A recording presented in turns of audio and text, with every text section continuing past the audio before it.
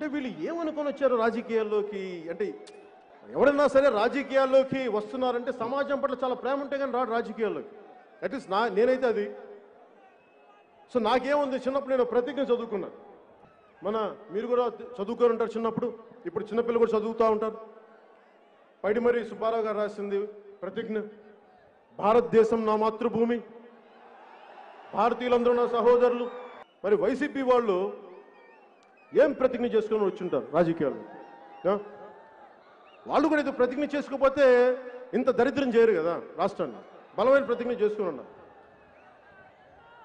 ఆంధ్రప్రదేశ్ మా సొంత భూమి ఆంధ్రులందరూ మా బానిసలు రాజ్యాంగ స్ఫూర్తిని తొంగలో దొక్కుతాం న్యాయ వ్యవస్థని లెక్కే చెయ్యం పోలీసుల్ని ప్రైవేట్ ఆర్మీగా వాడేస్తాం.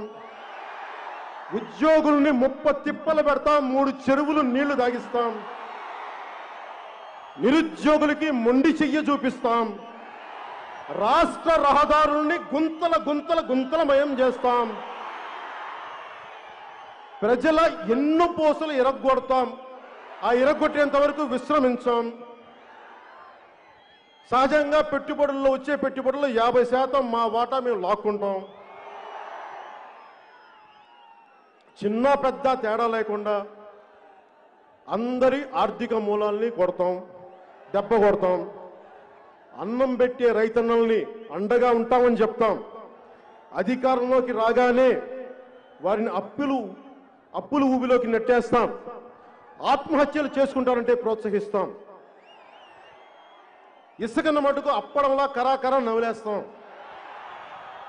సహజ వనరుల్ని శాంతానికి వాడేసుకుంటాం. దే దేవతల విగ్రహాలు అపవిత్రం చేసిన వారిని గుండెల్లో పెట్టి రక్షించుకుంటాం.